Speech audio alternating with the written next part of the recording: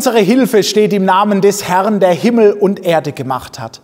Herzlich willkommen zu unserem Gottesdienst. Schön, dass Sie dabei sind. Wir feiern heute Konfirmation. Und für all die, die nicht dabei sein können in der Kirche, weil unsere Kirche heute zum ersten Mal seit langer Zeit wieder voll sein wird, haben wir die wichtigsten Teile schon einmal vorab für Sie aufgenommen. Das sind Gebete, das sind die Fürbitten, das ist die Predigt und all die guten Dinge und Worte, die wir den Konfirmanden mitgeben wollen auf ihrem Lebensweg. Und so feiern wir diesen Gottesdienst im Namen des Vaters und des Sohnes und des Heiligen Geistes. Amen. Lasst uns beten. Guter Gott, wir feiern heute Konfirmation und wir sagen Danke für ein gemeinsames Jahr, für die gute Gemeinschaft, für die schönen Erfahrungen, für all das, was wir voneinander und miteinander lernen durften und für die vielen kleinen Dinge, die gut gelungen sind. Manches ist auch nicht so gekommen und geworden, wie wir es uns gewünscht und vorgestellt haben. Auch das bringen wir vor dich, Gott, und bitten, vergib uns. Gib, dass wir einander immer wieder vergeben und nichts nachtragen. Öffne du, Gott, unsere Herzen und Sinne für das, was du uns heute sagen und schenken willst. Konfirmieren heißt stärken. Du hast uns in der Taufe zu deinen Kindern gemacht und sagt, sagst täglich neu Ja zu uns. Dafür danken wir. Gib, dass unser Vertrauen zu dir bleibt und wächst und hilf, dass wir unser Leben gestalten, wie du es von uns willst. Lass uns immer wieder erfahren, dass du die Liebe bist und wir von deiner Liebe leben. So stärke uns, himmlischer Vater, in diesem Gottesdienst und in unserem Leben. Mach du, o oh Herr, deine Liebe zum Maßstab für unser Leben. Das bitten wir dich durch Jesus Christus, unseren Bruder, unseren Herrn. Amen.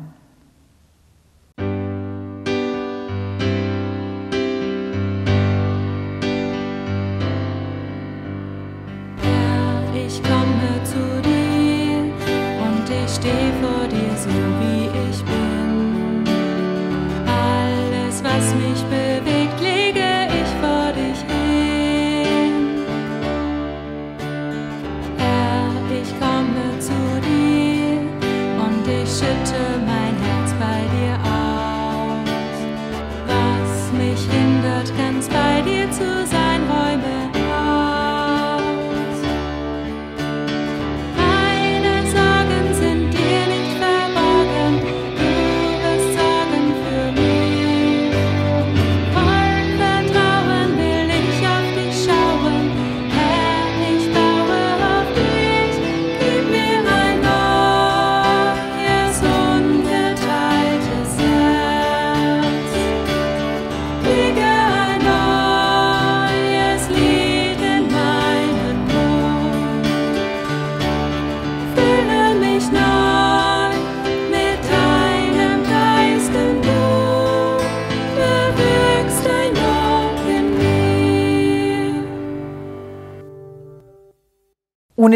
ist auch das Größte nichts. Wir hören die Schriftlesung aus dem ersten Korintherbrief.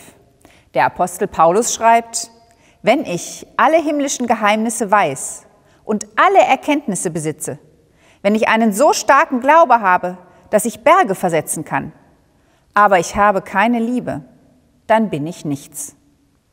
Und wenn ich all meinen Besitz verteile und den Tod in den Flammen auf mich nehme, aber ich habe keine Liebe, dann nützt es mir nichts. Die Liebe ist geduldig und gütig. Die Liebe eifert nicht für den eigenen Standpunkt. Sie prahlt nicht und spielt sich nicht auf. Die Liebe nimmt sich keine Freiheiten heraus. Sie sucht nicht den eigenen Vorteil. Sie lässt sich nicht zum Zorn reizen und trägt das Böse nicht nach. Sie ist nicht schadenfroh, wenn anderen Unrecht geschieht, sondern freut sich mit, wenn jemand das Rechte tut. Die Liebe gibt nie jemanden auf, in jeder Lage vertraut und hofft sie für andere. Alles erträgt sie mit großer Geduld. Niemals wird die Liebe vergehen, auch wenn alles einmal aufhört. Glaube, Hoffnung und Liebe nicht. Diese drei werden immer bleiben, doch am höchsten steht die Liebe. Bemüht euch also darum, dass euch die Liebe geschenkt wird. Lobet Gott in seinem Heiligtum, lobet ihn in, den, in der Feste seiner Macht. Alles, was Odem hat, lobet den Herrn. Halleluja.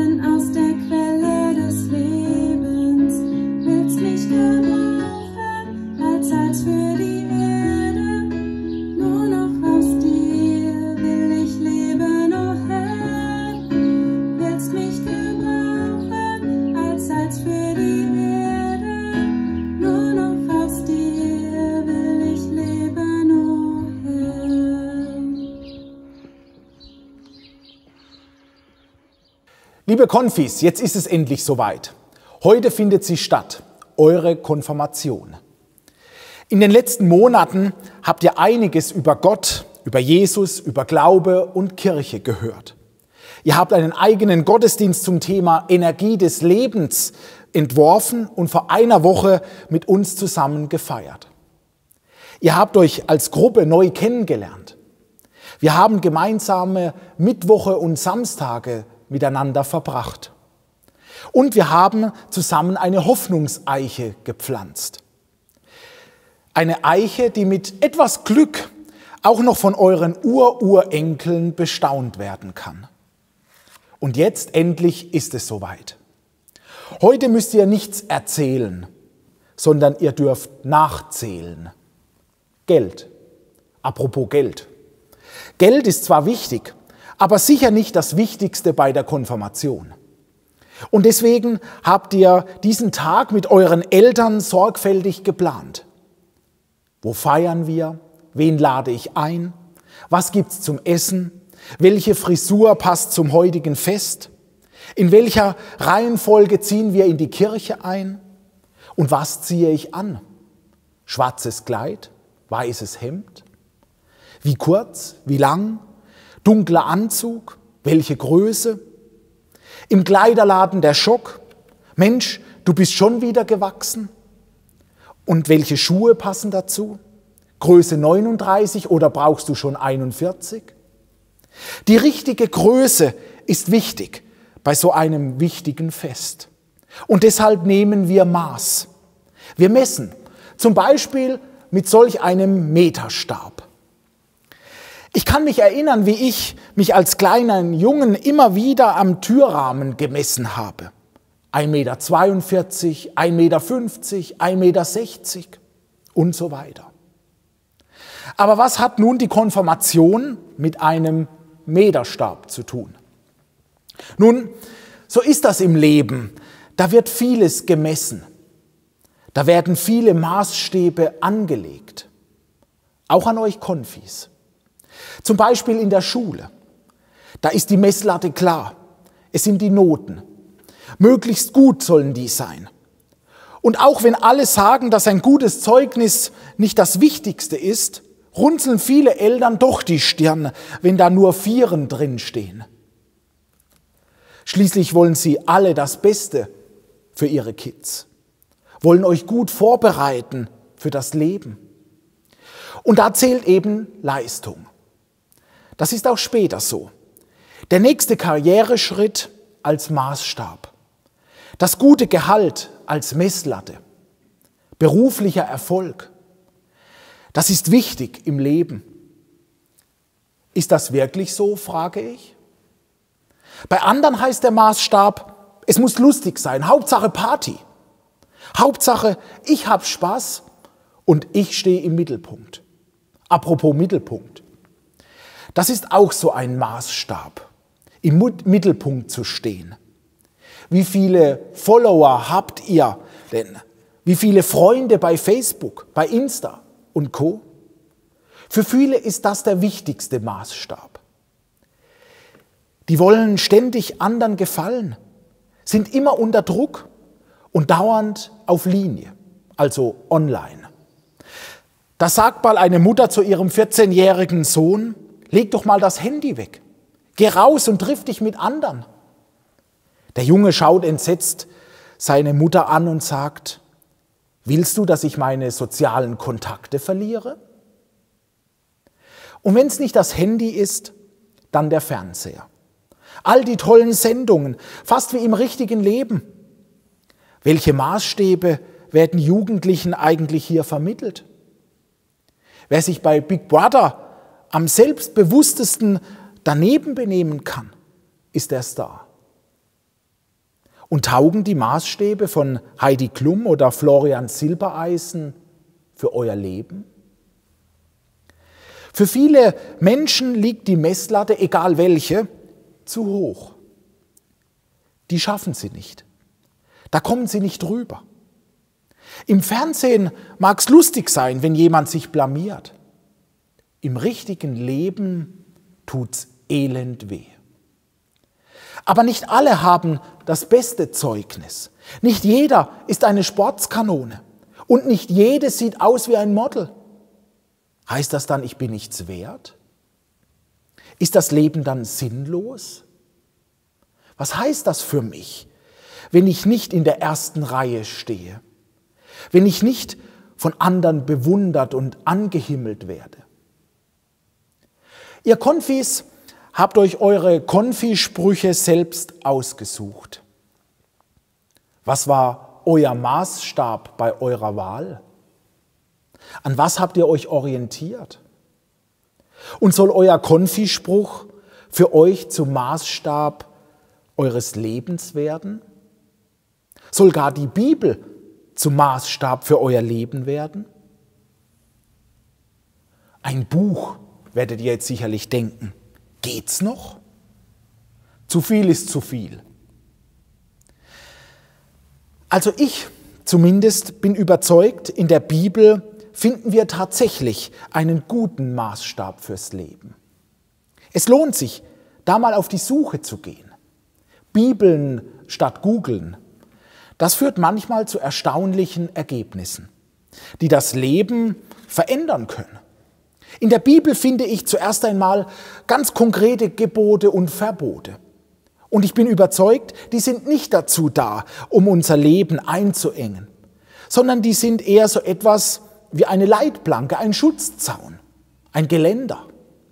Die hat Gott nicht gegen uns erlassen, sondern die hat er sich für uns einfallen lassen, weil er will, dass unser Leben gelingt.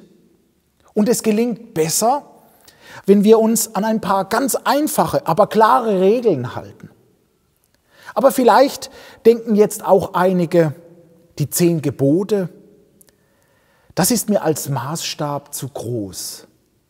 Ich bin ja kein Engel, sondern nur ein Mensch mit Fehlern und Schwächen. In meinem Leben gibt so manches Scheitern. Also die zehn Gebote, die sind mir als Messlatte viel zu hoch. Keine Sorge.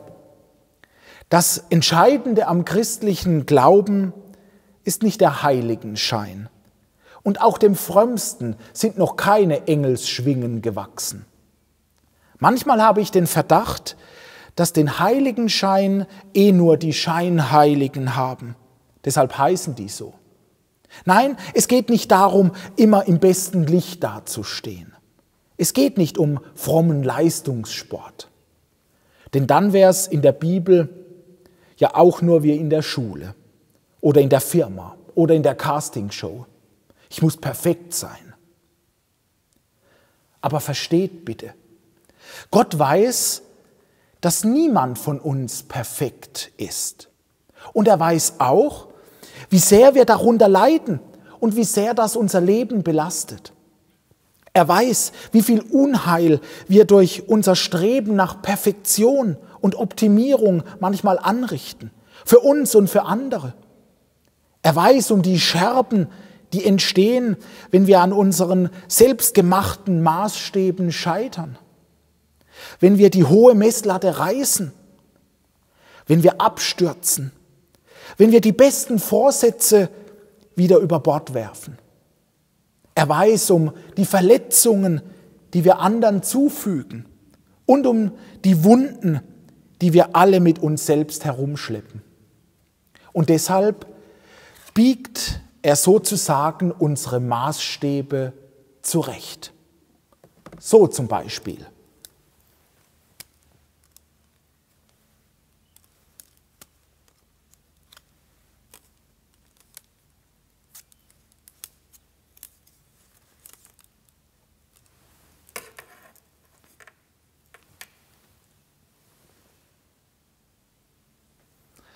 Gottes Maßstab für uns ist das Kreuz.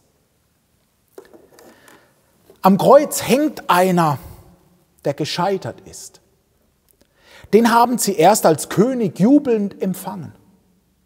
Aber er war nicht so, wie sie ihren König haben wollten, entsprach nicht ihren Wünschen und Maßstäben und ließ sich schon gar nicht nach menschlichen Vorstellungen optimieren. Und so haben sie dem König eine Dornenkrone aufgesetzt und ihn ans Kreuz genagelt, wo er elend gestorben ist. Gescheitert. Zu diesem Gescheiterten darf ich kommen mit all meinem Scheitern, mit meinen Scherben, mit meinen Wunden, mit meiner Schuld. Und du darfst das auch. Und sie dürfen das auch. Und ihr werdet erfahren, am Kreuz gelten die Maßstäbe unserer Welt nicht mehr. Da zählt weder Schulabschluss noch Gehaltsabrechnung. Da zählen nicht irgendwelche Siegerurkunden. Und da ist es egal, wie viel Follower du hast und wie viele Leute dich gestern geliked haben. Am Kreuz zählt nur noch die Frage, ob ich bereit bin, alles Kaputte in meinem Leben abzugeben. Ob ich bereit bin, nicht selbst heil machen zu wollen, was Unheil ist.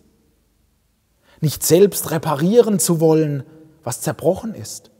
Nicht selbst leisten zu wollen, woran ich gescheitert bin und wieder scheitern werde. Bin ich bereit?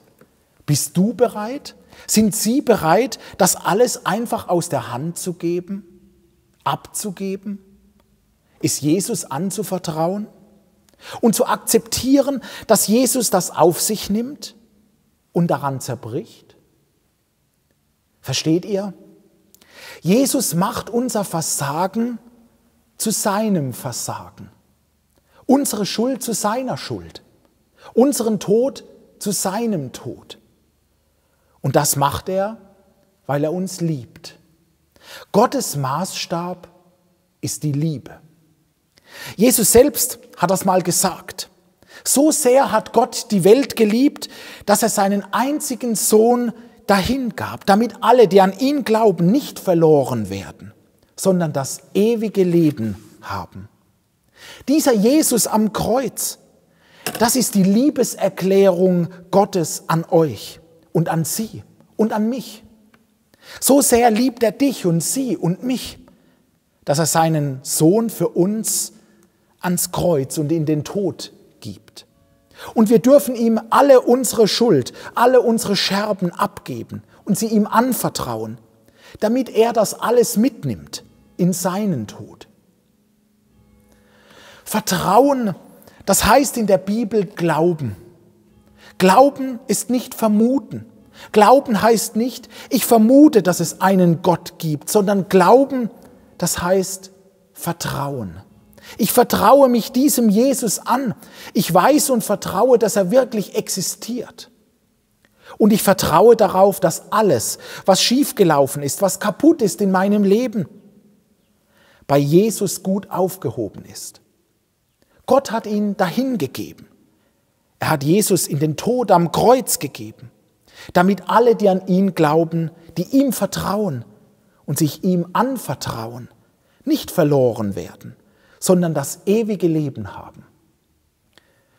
Ihr lieben Konfis, auf Jesus wollte ich euch immer hinweisen im Konfi-Unterricht. Von Jesus haben euch auch die jungen Leute im CVJM erzählt. Und ihr, liebe Konfis, wollt euch heute zu diesem Jesus bekennen. Ihr wollt Ja sagen zu Jesus, dem Gekreuzigten. Ihm wollt ihr euer Leben anvertrauen. Und Jesus hört euer Versprechen und nimmt es ernst. Denn, das ist jetzt ganz wichtig, der Gekreuzigte ist ja nicht tot. Das war er. Weil ja alles Versagen von uns auf ihm lastete. Das konnte er nicht überleben. Aber nachdem er es mit in den Tod genommen hat, hat der Vater im Himmel ihn wieder auferweckt. Jesus lebt, auch heute. Und er will, dass ihr mit ihm lebt. Er will einziehen in euer Leben. Er will Wohnrecht haben in eurem Herzen.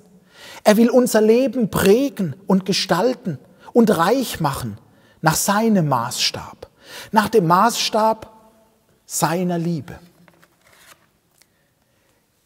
Der Mann am Kreuz schien ein Gescheiterter zu sein. Einer, der den Maßstäben, den Erwartungen, den Wünschen nicht gerecht werden konnte. Aber am dritten Tag wurde deutlich, er ist kein Gescheiterter, kein Loser, sondern er ist der große Sieger, der Sieger über unsere Schuld, der Sieger über unser Versagen, der Sieger sogar über den Tod. Und deshalb ist das Kreuz ein großes Pluszeichen. Das Kreuz ist das Pluszeichen, das Gott vor unser Leben setzt. Und damit rückt er alle unsere Maßstäbe zurecht. Ganz egal, was dahinter kommt. Versagen, Scheitern, aufgeschlagene Knie, verwundete Herzen, weinende Seelen, schuldige Gewissen. Vor allem und über allem steht das große Pluszeichen des lebendigen Gottes. Vor allem und über allem steht der gekreuzigte und auferstandene Jesus Christus. Und nach diesem Maßstab betrachtet Gott euer Leben. Der sagt nicht, du bist schon wieder zu spät gekommen. Du hast schon wieder nicht anständig gelernt. Warum ist dein Zimmer schon wieder so unaufgeräumt? Das eben war doch schon wieder eine Lüge. Hör mal, das weiß er alles. Und das findet er nicht gut. Und da will er uns gerne helfen, dass wir es besser hinkriegen. Aber das alles hält er uns nicht vor. Das ist nicht der Maßstab, an dem er unser Leben misst, sondern der Maßstab heißt, in dir lebt ja Jesus, mein geliebter Sohn. Er lebt mit dir und du lebst mit ihm. Deshalb bist du mein geliebtes Kind, ein Mensch nach meinem Herzen. Ich habe Freude an dir. Das ist mein Geschenk an dich. Und jetzt fragt Gott nach unserer Antwort. Willst du dieses Geschenk annehmen? Willst du diese Liebe erwidern? Was werdet ihr Konfirmanden ihm sagen? Was werden wir Erwachsene ihm sagen? Im letzten Buch der Bibel, der Offenbarung, wird Jesus uns vorgestellt als der, der eine dauerhafte Beziehung mit uns haben möchte. Jesus sagt, Siehe, ich stehe vor deiner Tür und klopfe an. Wenn jemand meine Stimme hört und die Tür auftut, zu dem werde ich hineingehen. Wisst ihr, heute ist so ein Tag. Ein Tag, an dem Jesus vor der Tür steht und anklopft. Aber mit der Tür ist nicht eure Haustür zu Hause gemeint und auch nicht die Kirchentür hier. Es ist eure Herzenstür gemeint. Jesus sagt, ich stehe vor deiner Tür und klopfe an. Hörst du das in deinem Innersten? Merkst du in deinem Herzen, dass ich es bin? Ich bitte dich, öffne die Tür. Dann werde ich in dein Herz einziehen und wir werden Gemeinschaft miteinander haben. Und Jesus hat eine Eselsgeduld mit uns Menschen.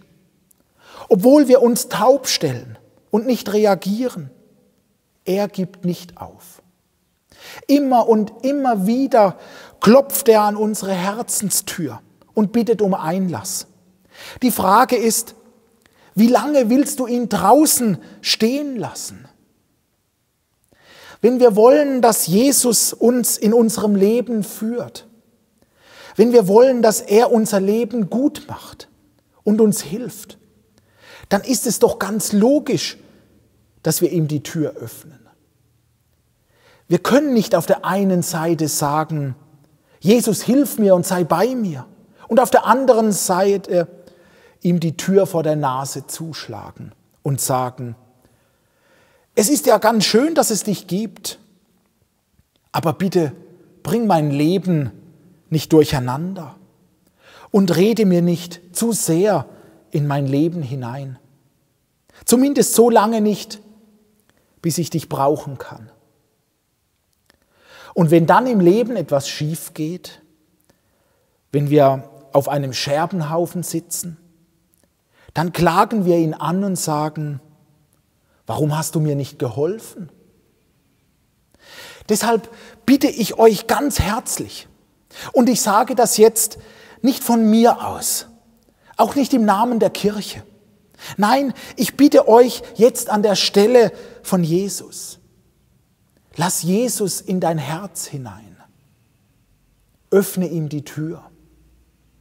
Dir kann nichts Besseres im Leben passieren, als dass er in dir wohnt.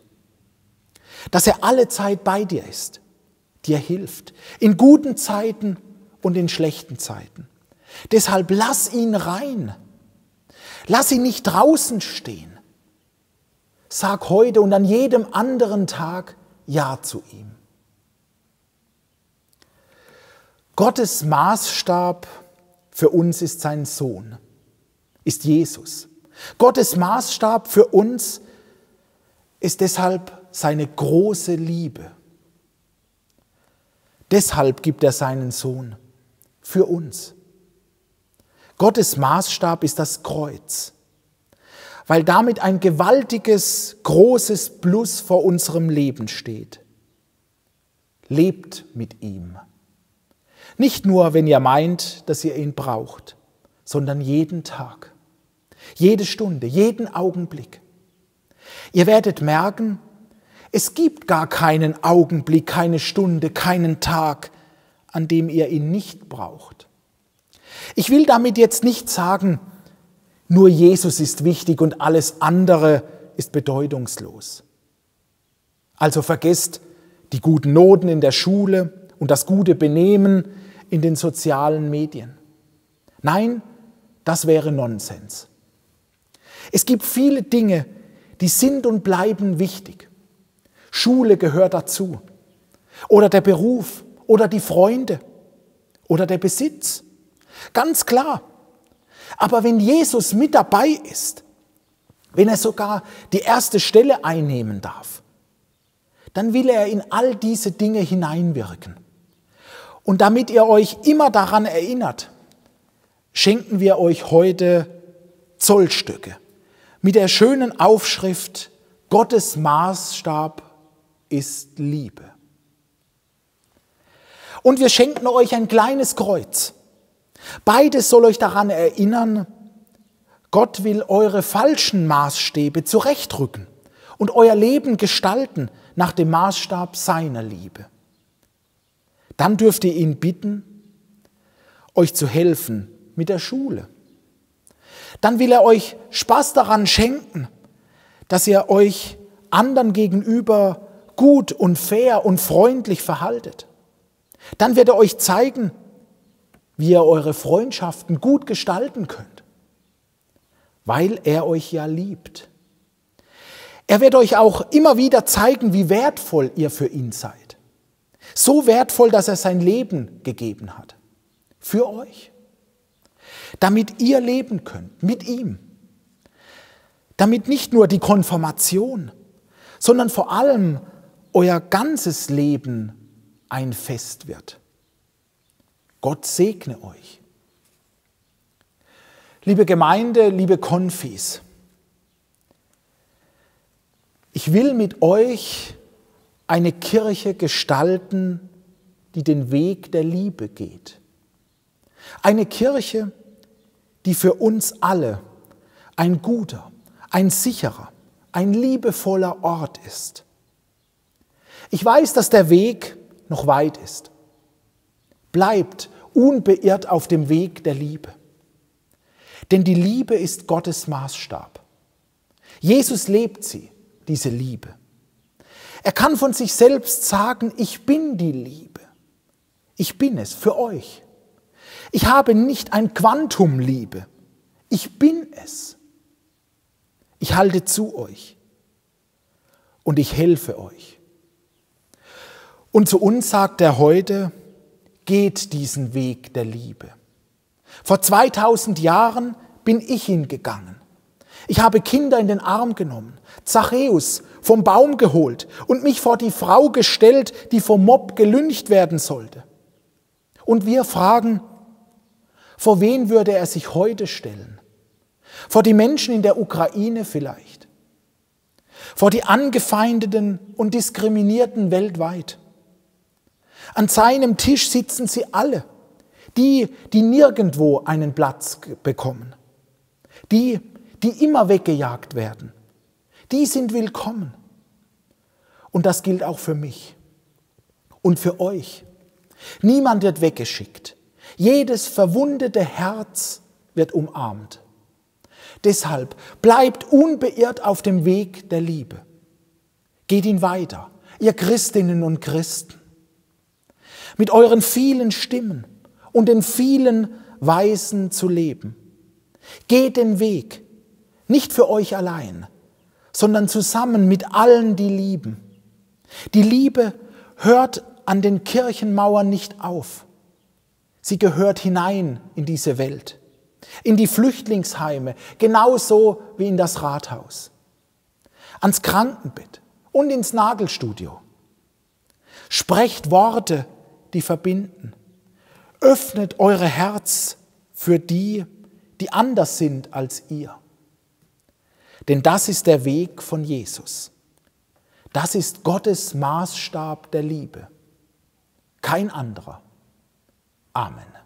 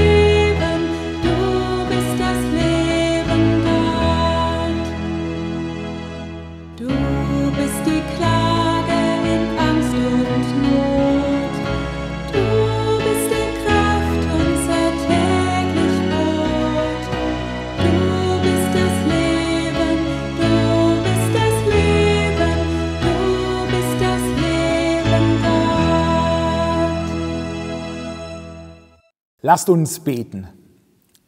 Wir danken dir, barmherziger Gott, für alle Zeichen der Liebe und der Zuneigung, für alle guten Wünsche. Wir danken dir, dass jede und jeder von uns kostbar ist in deinen Augen. In deiner Nähe lass uns bleiben durch Jesus Christus, unseren Herrn. Lieber Vater im Himmel, du hast Ja zu uns gesagt. Wir gehören zu dir. Dafür danken wir dir. Für die jetzt Konfirmierten bitten wir, dass sie ihren eigenen Weg durch die Welt finden und ihn mutig gehen lernen. Für die Eltern und Paten bitten wir, dass sie sie weiter begleiten, dass sie ihnen Freiheit gewähren, ohne sie allein zu lassen mit ihren Aufgaben und Fragen. Wir bitten dich, lass uns immer wieder zueinander finden. Hilf uns auch, nach Streit aufeinander zuzugehen. Wir möchten die richtige Balance finden zwischen Loslassen und verantwortlich sein. Für unsere Gemeinde bitten wir, dass Junge und Alte einen Platz in ihr finden, dass wir aufeinander hören und miteinander reden und für die da sind, die uns brauchen. Guter Gott, wir bitten dich, lass den Glauben der Jugendlichen weiter wachsen. Hilf ihnen bei ihren Fragen, die sie haben. Zeige ihnen deine Liebe und deinen Willen für ihr Leben. Hilf ihnen, Salz der Erde und Licht der Welt zu sein. Wir bitten dich für die Menschen, die heute keinen Grund zum Feiern haben, für die Kranken und Leidenden, Traurigen und Einsamen. Gib ihnen Menschen, die ihnen zur Seite stehen. Schenke ihnen Hoffnung und neuen Lebensmut und segne alle, die sich für sie einsetzen. Wir beten für die Opfer von Krieg und Gewalt in unserer Welt. An allen Orten, wo Unfriede herrscht, wo Menschen sich gegenseitig töten und verletzen. Zeige uns Wege, wie Frieden und Versöhnung gelingen können. Wir beten heute auch für uns selbst, für all das, was uns auf dem Herzen liegt, für das Gute und für die Schattenseiten unseres Lebens. Wir beten auch ganz besonders für unsere Kirchengemeinde, dass sie im Sturm der Zeiten nicht kentert, dass wir in unserer Gemeinde eine Gemeinschaft sind, die auf der weiten Fahrt durch das Meer nicht verloren ist, die vielmehr durch deinen guten Geist, o oh Herr, fest zusammengeschweißt ist in Glaube, Hoffnung und Liebe. Schenke du uns Menschen, die sich in ihrer Gemeinde engagieren und für ihren Glauben streiten. Bei dir, Gott, ist alles aufgehoben, was uns bewegt. Auf dich wollen wir vertrauen und uns auf deine Führung verlassen und gemeinsam beten, wie der Herr es uns gelehrt hat. Vater unser im Himmel, geheiligt werde dein Name dein Reich komme, dein Wille geschehe, wie im Himmel so auf Erden. Unser tägliches Brot gib uns heute und vergib uns unsere Schuld, wie auch wir vergeben unseren Schuldigern. Und führe uns nicht in Versuchung, sondern erlöse uns von dem Bösen. Denn dein ist das Reich und die Kraft und die Herrlichkeit in Ewigkeit. Amen. Geht hin im Frieden. Es segne und behüte euch der allmächtige und barmherzige Gott, der Vater, der Sohn und der Heilige Geist. Amen.